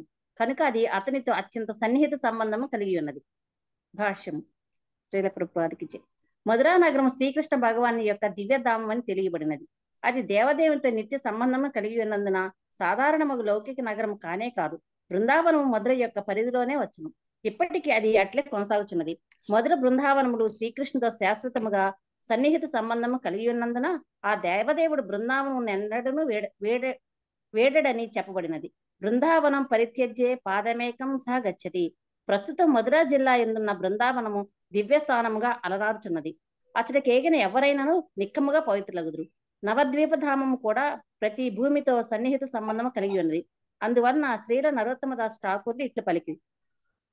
శ్రీ గౌడ మండల భూమి ఏభా జానే చింతామణి. తారయ యహ తారహయ బ్రజభూమే వాస. బ్రజభూమి బృ- మధురా బృందావనము సూచించగా గౌడ మండల భూమి నవద్వీపము కలిగి ఉన్నది. ఈ రెండు ప్రదేశములు అభిన్నములు. కనుక శ్రీకృష్ణుడు శ్రీ చైతన్య మహాప్రభు ఇద్దరు ఒకటే అని తెలుసుకుని నవద్వీపం నందు వసించువాడు ప్రజభూమి మధురా బృందావనము ఎందే వసించినట్లుగును. మధురా బృందావనము నవద్వీపం ఎందు వసించి తనతో ప్రత్యక్ష సంబంధం కలిగి ఉన్నట్లుగా బద్ధ జీవునికి భగవానుడు సదుపాయం కలిగజేసింది. కేవలం ఈ ప్రదేశములలో వసించుట ద్వారా మనుజుడు శీఘ్రమే శ్రీకృష్ణుడు సంపర్కమునకు వచ్చును. బృందావనం మధురలను ఎన్నడని వేయడమని కొందరు భక్తులు వ్రతమును భూని భూని ఎందురు నిస్సందేహంగా ఇది ఉత్తమ వ్రతమేనను ఎవరైనా భగత్ సేవ కొరకు బృందావనమును మధురను లేదా నవద్వీపధామమును వీడినచో అతడు శ్రీకృష్ణకు దూరమైనట్లు కాదు. ఏది ఏమైనను మధుర బృందావన నవద్వీప ధామం యొక్క దివ్యమగు ప్రాముఖ్యమును మనం తప్పక తెలుసుకోవాల్సి ఉన్నది. ఈ ప్రదేశములలో భక్తియుక్త సేవ నడుచువారు ఎవరైనాను దేహ త్యాగానంతరం భగవద్ధామమును చేరగలరు. అందువలన మధుర భగవాన్ ఎత్త నిత్యం సన్నిహితో హరిహి అని పద్యపాదం విశేషము ప్రాధాన్యం సంతరించుకున్నది. భక్తుడు ఈ ఉపదేశము తమ శక్యానుసారం పూర్తిగా వినియోగించుకోవలేదు స్వయముగా దేవదేవుడు ఎప్పుడు అవతరించినను మధురా నగరంతో తనకు గల సన్నిహిత సంబంధం వలన అచ్చటనే ఆవిర్భవించను. అందువలన మధురా బృందావనములు ఈ ధరాతలం పైన ఉన్నప్పటికీ భగవంతుని దివ్యధామంలో ఉన్నవి. Thank you Prabhuji Hare Krishna so యదువంశ యదువంశీయులందరికీ కూడా మధుర అనేటువంటిది రాజుగారు. ఎందుకంటే మధురా నగరానికి సూరసేనుడు రాజుగా ఉన్నారు. ఓకే మధుర అనేటువంటి రాజ్యానికి సూరసేనుడు రాజుగా ఉన్నారు. ఆయన రాజుగా ఉన్నటువంటి సమయంలో ఒక రాజధానిని ఏర్పాటు చేసుకున్నారు ఆ రాజధాని మధుర. మధురకి ఒక ప్రత్యేకత ఉంది. ఎందుకంటే శ్రీకృష్ణ భగవానుడు మధురలో అవతరించారు. శ్రీకృష్ణ భగవానుడు మధురలోనే అవతరించారు కాబట్టి మధురకి ఒక ప్రత్యేకమైనటువంటి ఆధ్యాత్మికమైనటువంటి ప్రత్యేకత ఉంది. అందుకనే మనం అందరం కూడా వెళ్తే మధురకి కనీసం ఒక్కసారన్నా ఎలా లైఫ్లో. ఒక్క రోజన్నా నిద్రించాలి మధురలో. ఓకే? మధుర కానీ బృందావనంలో కానీ ఒక్క రోజైనా సరే ఒక్- ఒక్క రోజైనా సరే ఒక నిద్రన్నా చెయ్యాలి. అప్పుడు మనలో పవిత్రత పెరుగుతుంది మనలో భక్తి పెరుగుతుంది మనము కృష్ణుడికి చాలా దగ్గర అవుతాం యాక్చువల్గా ఎవరైతే మధురలో బృందావనంలో ఉండి కృష్ణుడికి సేవ చేస్తారో వాళ్ళు తప్పకుండా గోలోక బృందావనానికి వెళ్తారు. అందుకని చాలా మంది భక్తులు వాళ్ళ రిటైర్మెంట్ తర్వాత బృందావనంలోను మధురల్లోనో ఒక ఇల్లు కొనుక్కొని అక్కడ ఉండి లేకపోతే మాయాపూర్లోను ఇల్లు కొనుక్కొని అక్కడ ఉండి అక్కడ భగవంతుడికి సేవ చేసుకోవాలి అనేటువంటి ప్రయత్నం చేస్తూ ఉంటారు. అయితే భగవద్ధామానికి వెళ్ళాలి అనేటువంటి లక్ష్యం ఉన్నటువంటి వ్యక్తి ఎవరైనా సరే తన రిటైర్మెంట్ బృందావనంలోనో మధురలోనో మాయాపూర్లోనో గడపాలి. కానీ ప్రభుపాద ఏం చేశారు? ప్రభుపాదుల వారు సన్యాసం తీసుకొని చక్కగా బృందావనంలో ఉండొచ్చు. కానీ బృందావనాన్ని వదిలేసి వెళ్ళారు. అంటే ఇక్కడ ఏంటంటే భగవత్ సేవ చేయడం కోసం బృందావనాన్ని వదిలేసైనా వెళ్ళొచ్చు. అయినా సరే మీరు గోలోక బృందావనానికి వెళ్ళగలరు. భగవద్ధామానికి వెళ్ళగలరు. ఇప్పుడు మనము ఇక్కడ ఉండి భగవత్ సేవ చేయగలం అనుకోండి. మనం బృందావనం వెళ్ళి అక్కడే ఉండాలి అని ఏం లేదు. పుణ్యక్షేత్రంగా ఒకసారి వెళ్ళి మీరు దర్శించుకుని భగవంతుని దర్శించుకొని ఒక్కరోజు అక్కడ నిద్ర చేసి అక్కడ పవిత్రమైనటువంటి ప్రదేశాలన్నీ తిరిగి కృష్ణుడు పాదం మోపినటువంటి ప్రదేశం కాబట్టి తప్పకుండా అక్కడ దాని ప్రభావం మన మీద ఉంటుంది. మనం అందరం కూడా పవిత్రం ఫస్ట్ ఆఫ్ ఆల్ మనం బృందావనం లాంటి ప్రదేశాలకి వెళ్ళాలంటేనే మనం అందరం కూడా పవిత్రులమై ఉండాలి. పవిత్రుడైనటువంటి వ్యక్తి బృందావనం లాంటి ప్రదేశాలకి వెళ్తే ఇంకా పవిత్రుడైపోతాడు. ఇంకా పవిత్రుడైపోతాడు. చాలా మంది ఏమంటారు అని అంటే నేను నా ఉన్నయన్ని వదిలేస్తాను నేను ఇక్కడి నుంచి వెళ్ళిపోతాను వృందావనం వెళ్ళిపోతాను అనుకుంటాం ఒకటి గుర్తుపెట్టుకోండి.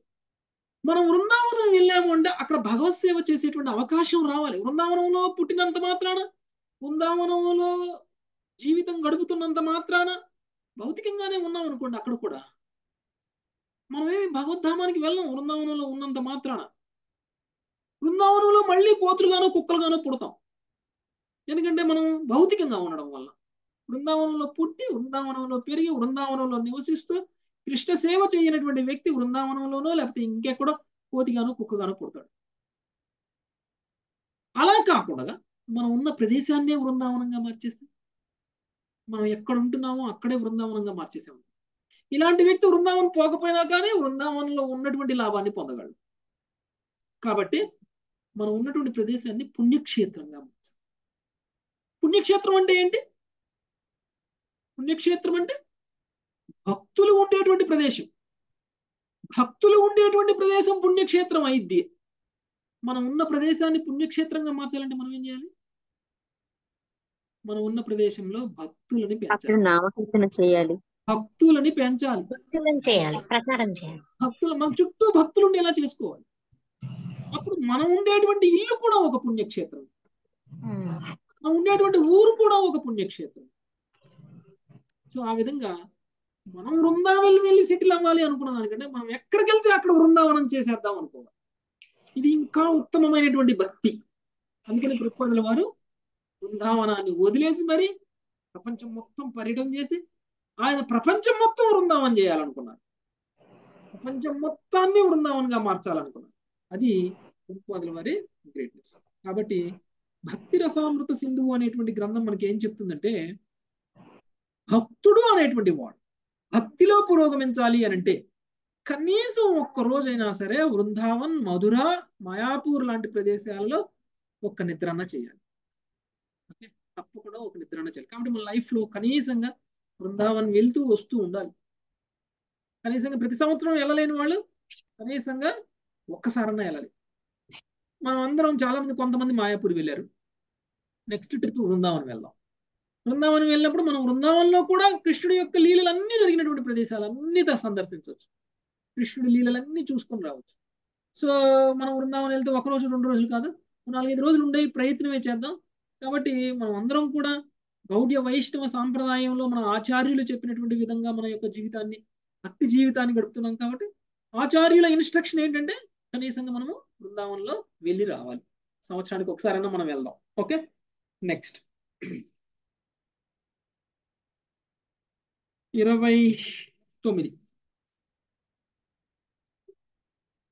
ప్రభావతి మాతాజీ.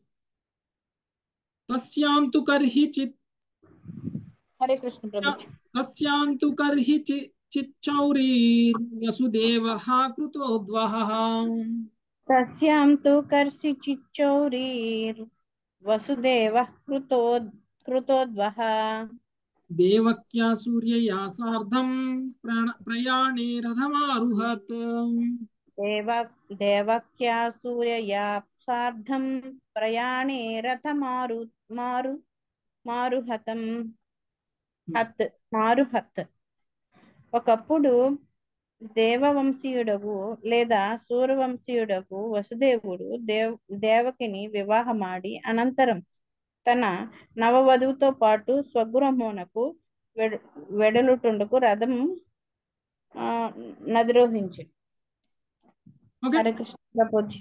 ధన్యవాదాలు. సూరవంశీయుడైనటువంటి వసుదేవుడు దేవకిని వివాహమాడి ఆ తరువాత నవవధువుతో పాటు స్వగృహమునకు వెడలకు రథమును అధిరోహించను. ఓకే?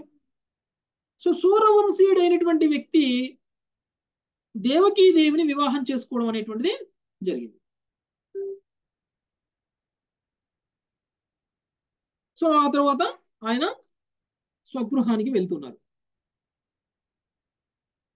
అమిశ్రీ మాతాజీ उग्रसेन सुतः कंसः स्वसुः प्रियचिकीर्षया उग्रसेन सुतः कंसः स्वसुः प्रियचिकीर्षया रश्मीन् हयानां जग्राह रौक्मैरदशतैर्वृतः रश्मीन् हयानां जग्रह रौक्म रथ शर्वैकृतः హరే కృష్ణ ప్రభుజీ. ఉగ్రసేనుని సుతుడగు కంసుడు తన సోదరియగు దేవకిని ఆమె వివాహ సందర్భమున సంతోషమును కలిగించుటకై గుర్రముల పగ్గాలను పట్టుకొని రథసారథి అయ్యను. వందల కొలది స్వర్ణ రథములచే అతడు పరివృత్తుడై ఉండెను. హరే కృష్ణ కంసుడు యొక్క సోదరి ఎవరు? దేవకి. సో ఈ దేవకి యాక్చువల్గా డైరెక్ట్ సోదరి కాదు కజిన్ అంటే వాళ్ళ చిన్నాన్న కూతురు లేకపోతే పెద్దనాన్న కూతురు. కంసుడు వచ్చేసి ఉగ్రసేనుడి యొక్క ఉగ్రసేనుడి యొక్క పుత్రుడు. ఉగ్రసేనుడి యొక్క పుత్రుడు అయినటువంటి కంసుడు దేవకి వివాహంలో సెలబ్రేషన్లో ఆయన కూడా ఉన్నారు. దేవకి వివాహ సందర్భంలో ఆయన చాలా సంతోషంగానే ఉన్నారు. సో నిజానికి దేవకి వసుదేవులు వాళ్ళు వివాహం అయిన తర్వాత వాళ్ళు తన వసుదేవుడు దేవకిని తన గ్రామానికి తీసుకువెళ్తున్నటువంటి రథం ఏదైతే ఉంటుందో ఆ రథానికి సారథిగా ఉన్నారు కంసుడు. ఓకే? ఆ రథ సారథిగా ఉండి స్వర్ణ రథాలతో నడపబడుతున్నటువంటి ఆ రథానికి ఆయనే సారథ్యాన్ని వహించడం అనేటువంటిది జరిగింది. నెక్స్ట్ ముప్పై ఒకటి ముప్పై సత్యవతి మాత.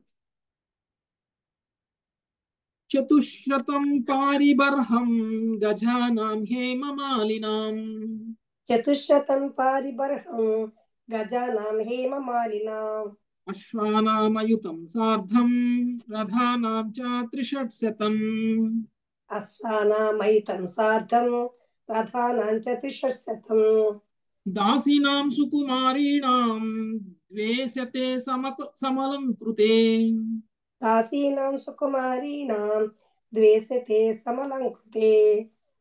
దుహిత్రే దేవక ప్రాదాధ్యాన్ ఏ దుహితృవత్సలః దుహిత్రే దేవక ప్రాదాధ్యాన్ ఏదో హిత హితృవత్సల దేవక యొక్క తండ్రి యొక్క దేవకుడు తన పుత్రిక అమిత వాత్సల్యం కలవాడై ఉండును.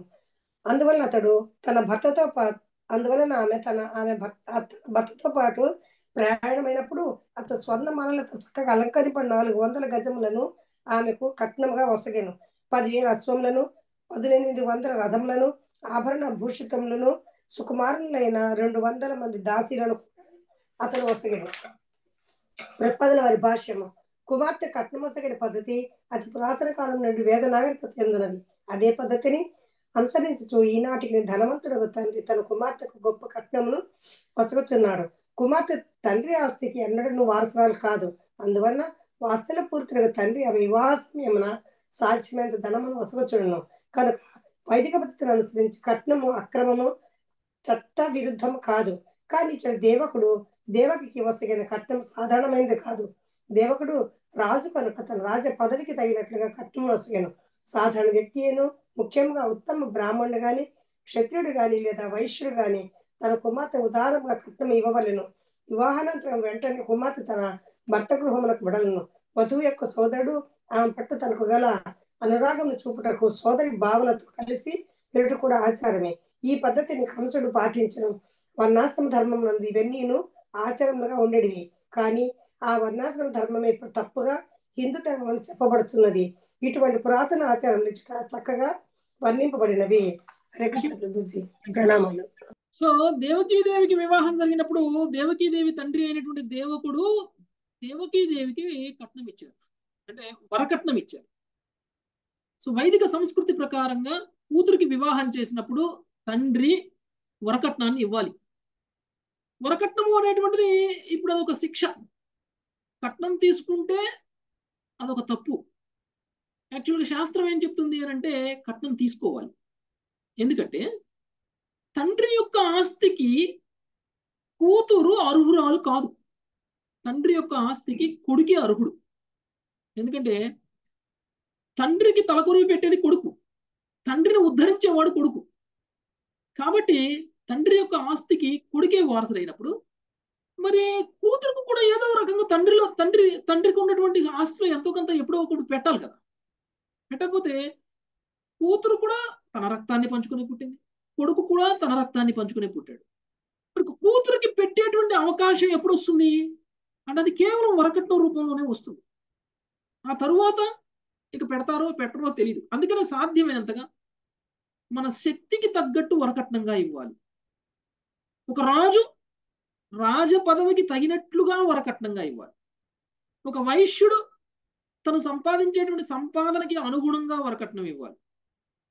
ఒక శూద్రుడు శూద్రుడుగా తను ఏమేమి చేయగలడో తన కూతురికి అవన్నీ చేయాలి. ఒక క్షత్రియుడు ఏం చేయాలో అవన్నీ చేయాలి.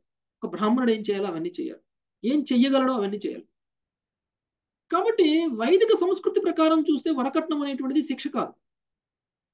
ఇవన్నీ కూడా వర్ణాశ్రమ ధర్మ విధానాలు అవలంబిస్తున్నటువంటి సమయంలో ఇవన్నీ ఉన్నాయి. యాక్చువల్గా వర్ణాశ్రమ ధర్మ విధానాన్ని నెలకొల్పడమే రాజు యొక్క ధర్మం.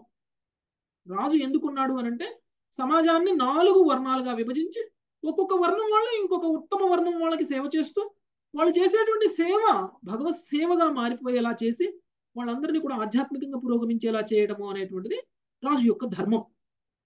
అందుకని ఏ రాజైనా చూస్తే వర్ణాశ్రమ ధర్మ విధానాన్ని అవలంబించేలా చేస్తాడు తన రాజ్యంలో. ఇది ఆయన చేయాల్సినటువంటి ఆయన ఆయన పెట్టాల్సినటువంటి రూల్స్ వెనకాల ముఖ్యమైనటువంటి కారణం. ఆయన ఏ రూల్ పెట్టినా ప్రజలందరూ కూడా ఈ రూల్ పాటించాలి ఈ రూల్ పాటించాలి ఈ రూల్ పాటించాలి అని అన్నారు అని అంటే ఆ రూల్ ఎందుకు పాటిస్తున్నారంటే నువ్వు ఆ వర్ణంలో ఉండి వర్ణానికి సంబంధించినటువంటి విద్యుక్త ధర్మాన్ని నిర్వర్తించేటువంటి విధంగా మీకు రాజు ఫెసిలిటేట్ చేస్తున్నాడు.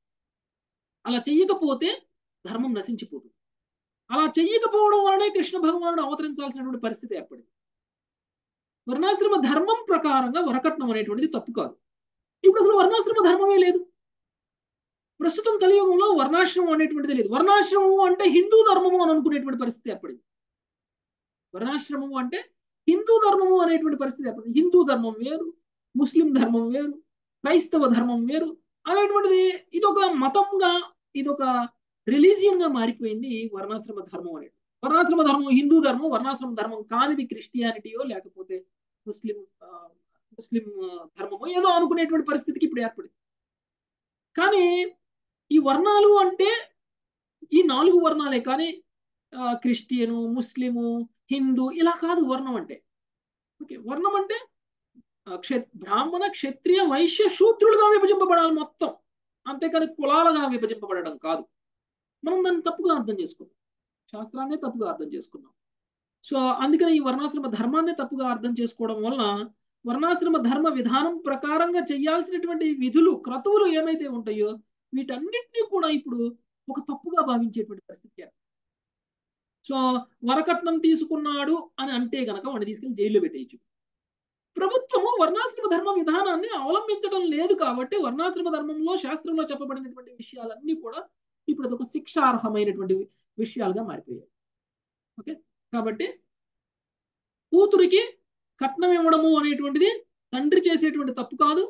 అల్లుడు కట్నం తీసుకోవడం అనేటువంటిది కూతురు నుంచి కూతు తండ్రి మామ ద్వారా మామ ద్వారా కట్నం తీసుకోవడం అనేటువంటిది కూడా ఏమాత్రం తప్పు కాదు. అయితే ఇప్పుడు మనం తీసుకునేటువంటి కట్నాలు ఎలా ఉంటాయి? ఒకప్పుడు ఆ వర్ణాశ్రమ ధర్మ విధానం ప్రకారంగా రాజులు వాళ్ళందరూ ఇచ్చేటువంటి కట్నాలు ఎలా ఉంటాయంటే అవి డిఫరెంట్గా ఉంటాయి. ఈవెన్ మీరు చూస్తే రాములు వారు సీతాదేవిని వివాహం చేసుకున్నప్పుడు కూడా వారు కట్నం తీసుకున్నారు. ఓకే. ఆ సీతాదేవికి ఒక అప్పట్లో ఎలా ఉండేదంటే భగవంతుడి యొక్క విగ్రహాలని వరకట్నంగా ఇచ్చేవాళ్ళు. వాళ్ళు పూజించేటువంటి విగ్రహాలు. ఇప్పుడు ఇప్పుడు నువ్వు చిన్నప్పటి నుంచి పెట్టుకున్న చెవులకి పెట్టుకున్న రింగులు ఇప్పుడు మీకు కట్నంగా మీతో మీతో వస్తాయి. మీరు చిన్నప్పటి నుంచి వేసుకున్న గాజులు మీతో పాటు కట్నంగా వస్తాయి. ఓకే? అప్పట్లో అలా కాదు. మీరు చిన్నప్పటి నుంచి పూజించినటువంటి విగ్రహాలు మీతో పాటు కట్నంగా వస్తాయి.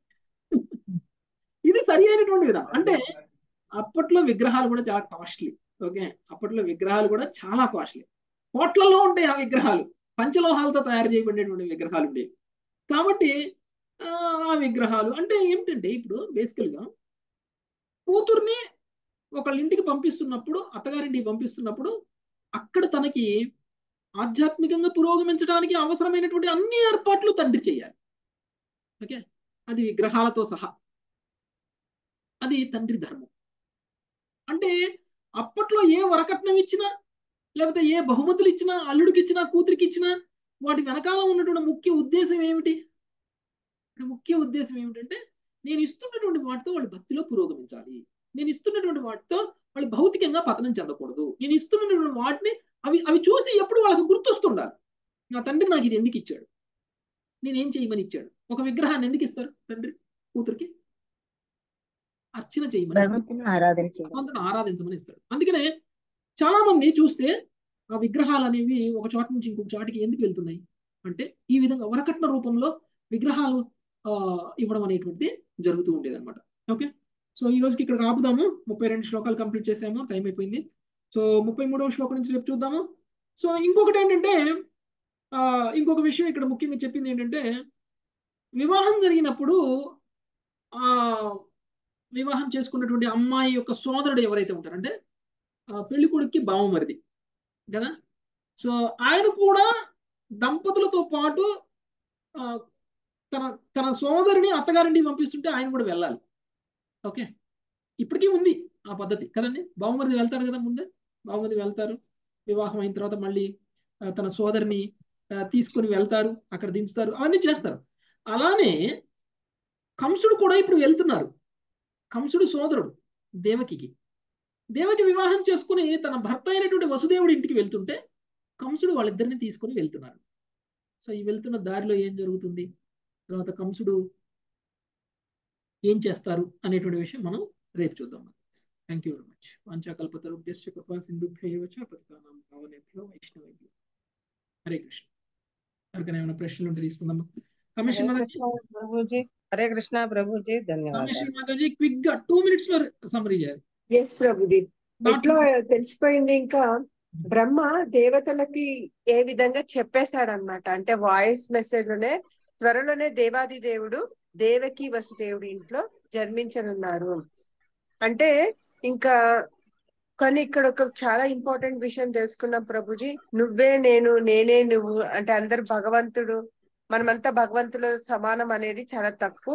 మాయావాదుల యొక్క ఈ మాటల్ని మనం ఎవరు నమ్మరాదు అనేది తెలుసుకున్నాము. స్వయంగా భగవంతుడే మొదటి విస్తారంగా సంకర్షణుడిగా ఆ, జన్మించ జన్ సంకర్షణుడిగా ఆ, జన్మించిన అంటే అవతరించనున్నాడు అని. ఆ తర్వాత భగవంతుడు వివిధ రకాలుగా పురుషావతారాలు లీలావతారాలు శక్తి అవతారాలుగా అవతరించడం జరిగింది అవతార అవతార అవతరించినప్పుడల్లా ఏదో ఒక రకమైనటువంటి ఆ లీలల్ని ఆయన చేస్తూ ఉంటాడని తెలుసుకున్నాము ప్రతిసారి భగవంతుడు ఎప్పుడు అవతరించినా గాని తప్పకుండా సంకర్షణుడు కూడా అవతరిస్తాడు. ఆయన బ్రదర్ గాను అంటే అన్నగో తమ్ముడు గాను అవతరిస్తాడు. ఇక్కడ కూడా ఇప్పుడు సంకర్షణుడు జ్యేష్ఠ సోదరుడుగా రాబోతున్నాడు అని బ్రహ్మదేవుడు దేవతలకు చెప్పడం జరిగింది. అదే విధంగా ఇవ ఇవాళ మేము మహా సంకర్షణతో పాటు ఇక్కడ మహామాయ మళ్ళీ ఆ, మహామాయ మళ్ళీ యోగమాయ ఎరుడు కూడా ఆయనతోనే రానున్నాయని కూడా చెప్పడం జరిగింది. అంటే భగవంతుని యొక్క శక్తి అవతారాలు ఆంతరంగిక శక్తి బహిరంగ శక్తి ఇవి రెండు కూడా రానున్నాయి అని. అందులో సవిస్తారంగా మనము యోగమాయ మగ మహామాయ గురించి తెలుసుకున్నాము. మహామాయ అంటే ఎప్పుడు భౌతికంగా భౌతిక వ్యక్తుల పైన ఉంటుంది. ప్రతి క్షణము మన మనల్ని భగవంతుని నుండి దూరం చేస్తూ ఉంటుంది. ఉదాహరణకి కంసుడిగా మనం తీసుకోవచ్చు. అదే యోగమాయ అయితే భగవంతుని సేవలో మనం ఎప్పుడు ఉండేటట్టు చేస్తుంది. నిత్యం భగవంతుని సేవ చేయాలనే మనని మనం దగ్గరకు తీసుకొని వెళ్తుంది. ఉదాహరణకి మనకి బృందావనంలో ప్రతి ఒక్కరు కూడా మనం ఎగ్జాంపుల్గా తీసుకోవచ్చు. అదే విధంగా భూదేవికి ఈ విషయాలన్నీ బ్రహ్మదేవుడు చెప్పి అక్కడి నుండి వెళ్ళిపోవడం జరిగింది. ఆ తర్వాత మధుర యొక్క విశేషాలు మధుర స్థానం ఎందుకంత ఇంపార్టెంట్ బృందావనం ఎందుకంత ఇంపార్టెంట్ ఎందుకంత పవిత్ర స్థలం అనేది తెలుసుకున్నాము. అంతేకాకుండా ఇంకా మనం అక్కడ బృందావనానికి వెళ్ళి మన శేష జీవితాన్ని గడపడం కానీ అక్కడికి వెళ్ళి మనం ఉండడం అది ఇంపార్టెంటే కానీ కృష్ణ సేవ అనేది చాలా ఇంపార్టెంట్. కృష్ణ సేవ చేస్తే మనం బృందావనంకి వెళ్ళినంతనే అన్నట్టు కూడా మనం అర్థం చేసుకున్నాము. అదే విధంగా మన ఉన్న ప్రదేశాన్ని కూడా బృందావనంగా మార్చొచ్చు అదే పుణ్యక్షేత్రంగా మార్చొచ్చు అదే భక్షు భక్తులకు నిలయంగా కూడా మార్చొచ్చు అని తెలుసుకున్నాము. ఇంకా ఈ విధంగా కథ కొనసాగుతూ ఉంది. కృష్ణ కథలో ఈ సూర్య సూర్యవంశస్థుడైనటువంటి వసుదేవుడు దేవకి యొక్క వివాహము వివాహ అనంతరము ఆమెని ఆ ఉగ్రసేనుడి కుమారుడైనటువంటి కంసుడు రథసారథిగా ఉండు వసుదేవుని వసుదేవుణ్ణి దేవకిని తీసుకొని వెళ్ళే ఘట్టం వరకు మనం తెలుసుకున్నాం ప్రభుజీ. అందులో రాజులు ఎస్పెషలీ వర్ణాశ్రమ ధర్మాలకు అనుగుణంగా పరిపాలించే వాళ్ళు వర్ణాశ్రమ ధర్మానికి అనుగుణంగా ఒక ఒక వివాహ వ్యవస్థలో కూతురికి ఏమేమి బహుమానాలు ఇవ్వాలి? అది కూడా ఒక శాస్త్రయుక్తంగా అప్పటి నుండే ఉందని కూడా మనం తెలుసుకోవడం జరిగింది Prabhuji. Hare Krishna Prabhuji. Hare Krishna. Thank you very much Hare Krishna. ఎవరికైనా ఏమైనా ప్రశ్నలు ఉంటే క్విక్గా తీసుకుందాం మాతాజీ ప్రభుజీ మీరు అన్నట్టు ఇప్పుడు వరకట్నం అంటే తప్పు అని వచ్చింది. కాకపోతే మన ఒక పూర్వీకులు వర్ణాశ్రమ ధర్మాన్ని అనుసరించి ఒక అమ్మాయిని పె- పెళ్ళి చేసి పంపిస్తున్నారు అంటే ఎన్నో రకాలైనటువంటి బహుమానాలని ఇప్పుడు అంటున్నాం. ఇప్పుడు ఈ ట్రెండ్ అంతా చేంజ్ అయిపోయింది కానీ ప్రభుజీ. చాలా ఏళ్ళ కిందట ఇది ఒక రకంగా నేను అనుకుంటున్నాను ఆ ఇంట్లో అట్లా పంపించడానికి ఆమెకు ఒక రకమైనటువంటి బలం ఉంటుంది. లేకపోతే తనకి మీరు అన్నట్టు దేవ విగ్రహాలను కూడా పంపించేవాళ్ళు అని ప్రభుజీ. మేము మా చిన్న తెలుసుకున్న మా తాత మా మా అమ్మమ్మ వాళ్ళ అమ్మమ్మ కాలం నుండి మా ఇంట్లో చాలా సామాన్లు ఉండేది ప్రభుజీ. ఇప్పుడు ఎట్లా అంటే కొత్తగా వచ్చిన కోళ్ళలో అవన్నీ తీసేస్తున్నారు అనమాట అసలు ఇప్పుడు మనకు చూడడానికి కూడా దొరకవు. అట్లాంటి ఇత్తడివి పెద్ద పెద్ద బిం- బిందెలు మళ్ళీ ప్రసాదం చేయడానికి చాలా పెద్ద పెద్ద పాత్రలు ఉండేవి. చిన్నప్పుడు ఆడుకునేటప్పుడు ఎప్పుడు అడిగేవాళ్ళం అవన్నీ ఏంటివి అవన్నీ ఏంటివి అనేసి. సో అప్పుడు మా ఇంట్లో భజనలు జరుగుతూ ఉండేవాళ్ళు అంతమంది ప్రసాదాలు పెట్టించే వాళ్ళంట వేరే వాళ్ళు వచ్చినప్పుడు ఇప్పుడు అవి చూడడానికి కూడా లేవు. అంటే ఇంకా ఇంకా పాత జమానాకి వెళ్ళినప్పుడు ఎన్ని ఇచ్చేవాళ్ళు ఎన్నో సాంప్రదాయాలు ఉండేవి అవన్నీ అడుగంటిపోయాయేమో అనిపించింది ప్రభుజీ. మళ్ళీ ఒకసారి అవన్నీ మనకి సనాతన ధర్మం ప్రకారంగా మనకి ఇవ్వబడినటువంటి రూల్స్ అన్నిటిని కూడా మనం మిస్యూజ్ చేయడం మొదలు పెట్టాం కదా? మిస్యూజ్ చేయడం మొదలు ఇక్కడ ఏం చెప్పాడు? ఒక రాజు రాజు స్తోమతకు తగ్గట్టు కట్నం ఇవ్వాలి. ఒక క్షత్రియుడు క్షత్రియుడు స్తోమతకు తగ్గట్టు కట్నం ఇవ్వాలి. ఒక వైశ్యుడు వైశ్యుడు స్తోమతకు తగ్గట్టు కట్నం ఇవ్వాలి. ఒక శూద్రుడు శూద్రుడు స్తోమతకు తగ్గట్టు కట్నం అయితే స్తోమతకు మించి కట్నం తీసుకోవాలి అనేటువంటి ప్రయత్నం చేసామనుకోండి అప్పుడు ఏమైంది? శాస్త్రం శాస్త్రాన్ని అడ్డం పెట్టుకొని మనం తప్పు చేసినట్టు ఇప్పుడు మీరు లక్ష రూపాయలు ఇవ్వగలిగిరు అన్నప్పుడు లక్ష రూపాయలే తీసుకోవాలి. నువ్వు లక్ష రూపాయలు ఇవ్వగలిగినా అప్పు చేసినా సరే తీసుకొచ్చి రెండు లక్షలు ఇవ్వు అని అన్నావు అనుకోండి అప్పుడు ఏమవుతుంది? శాస్త్రం ఏమని కట్నం తీసుకోవచ్చు అని చెప్తుంది. అలా అని నేను తీసుకున్నాను కట్నం నీ స్తోమతకి మించి తీసుకున్నాను. అప్పుడు అది అప్పుడు అది నేరం. నేరం.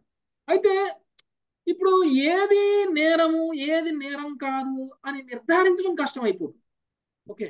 ఎందుకంటే ఎవరు స్తోమతకి మించి వసూలు చేస్తున్నారు? ఎవరు స్తోమతకు తగ్గట్టుగా ఇస్తున్నారు తీసుకుంటున్నారు అనేటువంటిది చెప్పలేము. కట్నం తీసుకోవడం తప్ప కట్నం తీసుకోవడం రైటా అనేటువంటి విషయం ప్రభుత్వం నిర్ణయించలేదు దాన్ని. అందుకనే మెజారిటీ కేసెస్ ఏం జరుగుతున్నాయి చూస్తారు. మెజారిటీ కేసెస్లో కట్నం ఇచ్చినటువంటి వాళ్ళు ఇబ్బందులు పడి అప్పులు పాలయ్యేటువంటి పరిస్థితి కనపడుతుంది. అందుకనే ఏం చేస్తున్నాయి ప్రభుత్వాలు? కట్నాల వల్ల మెజారిటీ శాతం ఇబ్బందులు పడుతున్నారు కట్నాలు ఇవ్వడం వల్ల అని చెప్పేసి కట్నాలు ఇవ్వడం నేరం అని చేసేసారు. ఓకే? సో ఈ విధంగా స్లో స్లోగా ఏదో ఒక రీజన్ వల్ల ఒకప్పుడు ఉన్నటువంటి వర్ణాశ్రమ విధానంలో ఉన్నటువంటి నిబంధనలని నియమాలని మనము మిస్యూజ్ చేయడం వల్ల వర్ణాశ్రమ ధర్మం అనేటువంటిది పోయింది చివరికి. ఇప్పుడు వర్ణాశ్రమ ధర్మం అనేటువంటిది లేకుండా అయిపోయింది. పూర్తిగా. అదే మనం ఆ శాస్త్రాన్ని మిస్యూజ్ చేయకుండా ఉన్నాం అనుకోండి. శాస్త్ర పద్ధతుల ప్రకారంగా. ఇప్పుడు ఇందులో క్లియర్గా చెప్పాడు. ఆ, దేవకి తండ్రి రాజు కాబట్టి తన స్తోమతకి తగ్గట్టు తను ఒక కట్నాన్ని ఇచ్చాడని చెప్పి తనకి చాలా ఇచ్చాడు. గుర్రాలు ఇచ్చారు హర్షాలు ఇచ్చారు ఏమేమో ఇచ్చారు. ఓకే పొలాలు ఇచ్చారు బట్టలు ఇచ్చారు నగలు ఇచ్చారు అన్నీ ఇచ్చారు. కూతురికి ఇచ్చారు. కానీ తనకున్నదంతా ఇచ్చేయలేదు. తనకున్నదంతా కొడుక్కట తనకున్న దాంట్లో ఏదో కొంత కూతురికి ఈ విధంగా కట్న రూపంలో ఇచ్చారు. అంటే కూతురికి ఇవ్వాలి కానీ తనకున్నది అంతా కాదు. కొంత. కూతురికి ఎంత అవసరమో అంత. కూతురికి ఎంత ఇస్తే మనం తృప్తి పడతామో కూతురికి ఎంత ఇస్తే వాళ్ళు తృప్తి పడతారో మనం కూడా సంతోషంగా ఇవ్వగలమో అంత ఇవ్వాలి. ఓకే? సో అది మిస్యూజ్ అయినప్పుడు ఏమవుతుందంటే ఇంకా చట్టం ఆ లైన్ గీయలేదు. ఆ తిన్ లైన్ గీయలేదు. తప్ప ఒప్ప అని గీయలేదు. అందరినీ తప్పు కిందనే భావించేస్తుంది అది. ఓకే? ప్రభుజీ ఇప్పుడు మనము ఆ, యోగ మాయ ఉంది కదా మామూలు మాయ ఉంది అన్నారు మనం బుక్ బుక్ రీడింగ్ చేసేటప్పుడు అది చేసింది కూడా యోగ మాయ లేకపోతే ఈ మాయ ప్రభుజీ బుక్ రీడింగ్ అంటే ఏ ఆధ్యాత్మిక కర్మ చేసినా గానీ మీరు కృష్ణుడికి దగ్గరగా ఉన్నట్లే. అంటే భగవద్గీత అంటే భగవద్గీత చదువుతుంటాం మనం ప్రభుజీ. ఎక్కువ శాతం ఎక్కువసేపు దాని మీద స్పెండ్ చేస్తే అది యోగమాయ అంటారా? లేకపోతే మామూలు యోగమాయ మాయ? యోగమాయ ప్రభావం ఉంటేనే మీరు భగవద్గీతను ముట్టుకుంటారు. అంతే. భగవద్గీతను ముట్టుకునే స్థాయి వరకు వచ్చారంటే యోగమాయ ప్రభావం ఉందని అర్థం అంటే ఎక్కువ టైం దాని మీద ఎక్కువ శ్లోకం ఎంత నేర్చుకోవాలి. ఎక్కువగా ఆధ్యాత్మికంగా ఉంటారో ఎంత ఎక్కువగా మీరు కృష్ణుని కృష్ణ ప్రేమని కృష్ణ సేవని ఎంజాయ్ చేస్తారో ఎంత ఎక్కువగా మీరు కృష్ణుడికి దగ్గరగా ఉండాలి కృష్ణ సేవ చేయాలి అని అనుకుంటారో అంత ఎక్కువగా మీ మీద యోగ ప్రభావం యోగమాయ ప్రభావం పనిచేస్తున్నట్టు ప్రభు ధన్యవాదాలు. అంటే నాకు అదే డౌట్ ప్రభుజీ చదువుతున్నప్పుడు ఎక్కువ అదే చదవాలనిపిస్తుంది. ఎక్కువసేపు ఆ భగవద్గీత శ్లోకాలు వినాలి మీ నేర్చుకోవాలి. మీద మీ మీద మహామాయ ప్రభావం తక్కువగా అంతే ప్రభుజీ నాకు అదే కోరిక ఎక్కువ అంటే ఎక్కువసేపు ఏదో ఒకటి మన భగవద్గీత క్లాస్ అయినా వినకపోయినా సరే అది శ్లోకం వినాలి చదవాలి అనిపిస్తుంది అంతే. అందుకనే అడిగాను. నాకు ఆ మాయ ఏం లేదు కదా అనేసి. అదృష్టం. అది మంచిది మాతది యోగమాయ ప్రభావం మంచిది. మాకు అవకాశం లేదు. మాయా మహామాయతో బంధింపబడిపోయినాం. ఎంత అనుకున్నా కావడం లేదు. మనం అందరం అదే ట్రైన్లో ఉన్నాం. మీరు మీ వెనకాల భోగిలో నేనున్నా. ప్రభుజీ. మీ వెనక మేమంతా ఉన్నాం ప్రభుజీ. వెనక ప్రభుజీ. ప్రభుజీ. ప్రయాణం చేస్తున్నా కానీ మహామాయ లాగుతుంది ప్రభుజీ. ఆ. భాగవతం భౌతికంగా అయిపోతున్నాం. అదే కదా ప్రభుజీ. యోగమాయ ఉన్న- ఉన్నప్పుడు అసలు మహామాయ రాకూడదు. అయినా కానీ వచ్చేస్తుందంటే ఎంత ఉందో చూడు ప్రబలంగా. మూడు త్రిశూలం కదా? మహామాయ చేతిలో త్రిశూలం ఉంది. మూడు మూడు శూలాలు. ఏంటిది అది ఆ మూడు శూలాలు ఏంటి? తత్వ రజోతమో గుణం. కర్మ ఆధ్యాత్మిక. కర్మ ధర్మ అర్థ కామ. ఈ మూడిటితోటి హృదయంలో పొడి చేస్తుంది అనమాట మనల్ని. ధర్మార్థ కామాలు. ధర్మార్థ కామ. మోక్షం లేదు. నాలుగోది లేదు అందులో. మాయ చేతిలో ఉన్నటువంటి అంటే ఇప్పుడు త్రిశూలం పట్టుకున్న వాళ్ళకి దూరంగా ఉండండి మీరు. పొడి చేస్తారు మిమ్మల్ని. ప్రభుజీ ఈ రోజులలో అన్ని ఇస్తున్నారు కానీ ఇవ్వగలిగినంత బట్టలు నగలు అన్ని ఇస్తున్నారు. కానీ భగవంతుడి విగ్రహాలను ఇవ్వట్లేదు ప్రభుజీ. అంటే నీకు భగవంతుని ఇచ్చేసేస్తే మా ఇంట్లో నుంచి లక్ష్మీదేవి వెళ్ళిపోద్ది. మేము ఇవ్వకూడదు మీరు కొనుక్కోవాలి. లక్ష్మీదేవిని మీరే ఉంచుకోండి విష్ణు భగవాన్ని ఇచ్చేయండి. విష్ణుతో పాటు. ప్రభుజీ మా. నాన్న మా నాన్నగారు మాత్రం నాకు కృష్ణ భగవానుడే చేతిలో పెట్టారు వెళ్ళేటప్పుడు. ఒక భగవద్గీత బుక్ ఇచ్చారు. ఆ రెండే ఇచ్చారు ఎక్కువగా. అమ్మ ఇది మాత్రం నాకు నేను ఆ ముందు సుకృతి ఆ చెప్పారు సుకృతి మీకు ఉంది కాబట్టి మీరు భాగవతం వింటున్నారు మదర్ మాకు ఇచ్చారు మా ప్రభుజీ భగవద్గీత బుక్ ఇచ్చింది అమ్మ మీరు అందరూ మాకు నేను పుణ్యాత్ములు మా పిల్లలకి ఇచ్చాను.